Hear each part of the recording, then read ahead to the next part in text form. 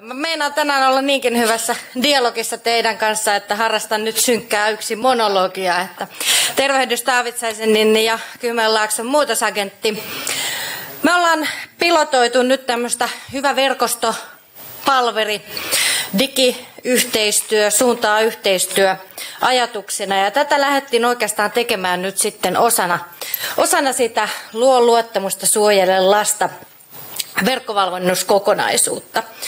Ja tota, vaikea katsoa, kun nämä on nämä diat, diat täällä. Missä se oli se mikki?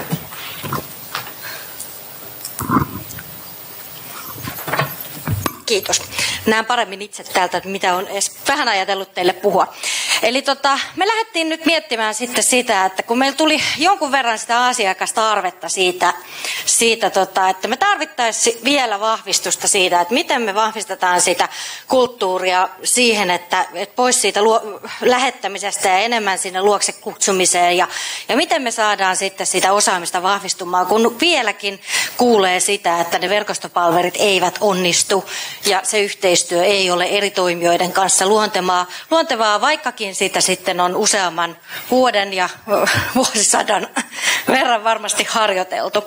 Ja siihen tarpeeseen me oikeastaan lähdettiin sitten rakentamaan tätä, tätä hyvä verkostopalveri sisältöelementtien määrittämistä. Ja tota, oikeastaan kun tilauksesta niin luo luottamusta suojele lasta sitten sitten tota, tuli tähän meidän tarpeeseen ja mietittiin, että miten me voitaisiin tätä, tätä yhdessä sitten viedä eteenpäin. No luo luottamusta siellä oli, oli loistava kokonaisuus siitä, että mitä me voidaan, niin kuin, mitä se tiedon vahvistaminen siellä on. Jolloin tietopohja saatiin yksi, yksinään käydyllä verkkovalmennuksella niin kaikille. Jonka jälkeen me mietittiin, että että tota, totta kai sitä dialogisuuttakin siihen tarvitaan, jotta me ymmärretään, miten se yhteistyö tuo, toimii. Ja kun meillä on vahvaa dialogiosaamista ollut meidän maakunnassa, meillä on hurja joukko dialogiosaajia siellä, niin me ajateltiin yhdistää tätä kahta kokonaisuutta. Ja me kokeiltiin tuolla Kotkan perhepalveluissa sitten sellaista sellaista kokeilua, missä me toteutettiin 12 erillä, eri dialogia, minne sitten osallistuivat kaikki Kotkan perhepalveluiden työntekijät. Ja me määriteltiin niitä sisältöelementtejä hyvästä verkostopalvelusta. Ja tämä kokeilu oli siinä mielessä tosi hyvä. Voi sanoa, että totta kai meillä kentältä kuuluu, että no miksi meidän tarvii tulla tänne, kun kyllä me osataan tehdä yhteistyötä, kyllä me pidetään hyviä verkko- tai verkostopalvereita ja, ja oikeastaan taas luo luottamusta ja suojelee lasta, niin tämä on aivan aliarvioimista siitä, että kyllä me oikeasti osataan pitää hyviä verkostopalvereita. Ja sitten kun me mentiin niihin dialogeihin, kun sieltä alkoi tulla sitä kokemusta, me katsottiin semmoinen hyvä verkostopalveri video sieltä suojele, luoluottamista suojellesta kokonaisuudesta. Ja siellä alkoikin sitten ihmiset puhua, että hei mä oon ollut tuollaisessa palverissa. Ja tämä oli ehkä semmoinen herätys, että kun moni sanoi, että no tämä on niin naivia, että meitä aliarvioidaan, kun tällaisia videoita näytetään. Ja sitten toinen kertoo, että hei mä oon ollut tällaisessa palvelussa. Ja se pistää miettimään. No tässä on kuvattuna meidän prosessi. Teille varmaan tulee sitten nettiin näitä, näitä dio, dioja katsottavaksi, että minkälainen tämä on. Me käytettiin erilaisia dialogisia menetelmiä siellä.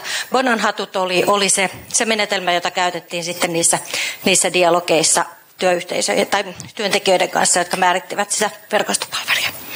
Ja sitten kun tietysti tämä ei, ei mene eteenpäin ilman, ilman vastuuesimiehiä, niin meillä oli jokaisessa dialogissa sitten yksi vastuu, vastuu tota, esimies, joka oli mukana siinä dialogissa. Ja lopputuotoksena sitten esimiehet kävivät oman dialoginsa siitä, mitä he oppivat tästä prosessista. Ja aika paljon sieltä tuli hyvää palautetta. Toki aikataulutusta, ryhmien muodostumista, tämän tyyppistä palautetta voidaan tulevaisuudessa miettiä vähän paremmin, miten tuotettiin.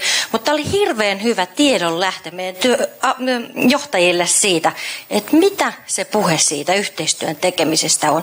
Mitkä on ne prosessihaasteet, mitkä pitää saada toimimaan, jotta se yhteistyö sujuu. Meillä oli itse asiassa ajatuksena siitä, että me tehdään tästä ihan palvelulupaus siitä, että minkälaisia verkosto, hyviä verkostopalvereita meillä tullaan Kymenlaaksossa toteuttamaan tai Kotkassa tässä kohtaa. Mutta siihen vaiheeseen me ei olla ihan vielä päästy. Me ollaan siihen tähtäämässä. Tämä prosessi jatkuu. Mutta se, mihin me oikeastaan päästiin, me päästiin siihen yhteiseen ajatukseen siitä, että me kootaan yhteen sinun ja tilanteesi kannalta tärkeät ihmiset löytääksemme yhdessä ratkaisuja.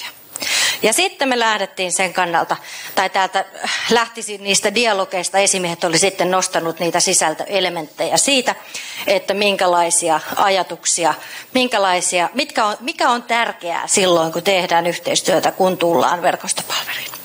Kävin kyttämässä tuolta Eksatelta tietysti sitä hyvää verkostopalvelin opasta ja ihan samat elementit sieltä meiltäkin nousi.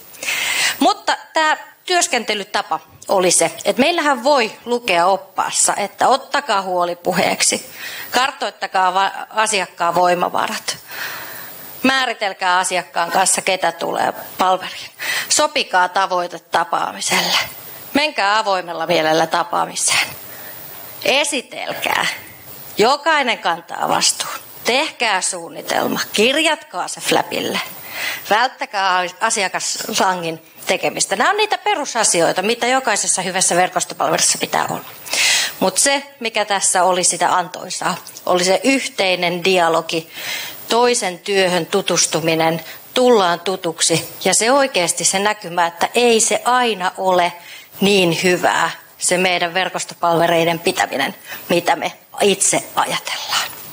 Ja tämä oli jotenkin se, se tota, mm, sanoisin niin kuin oppi, mikä tästä oli. Prosessi jatkuu. Tulemme liittämään tätä osaksi sinne monitoimijaisen arvioinnin. Ja kun Taavitsainenkin on yöllä tehnyt näitä dioida, niin katselen, että siellä mukavia kirjoitusvirheitä on, mutta niistä, niistä ei niin väliä. Mutta me tullaan jatkamaan nyt sitten tätä hyvän verkostopalverin palverin henkeä ja sitä, sen mallintamista ja juurruttamista nyt sitten osana sitä monitoimijaisen arvioinnin prosessia, mitä Kymenlaaksossa tehdään. Siinä.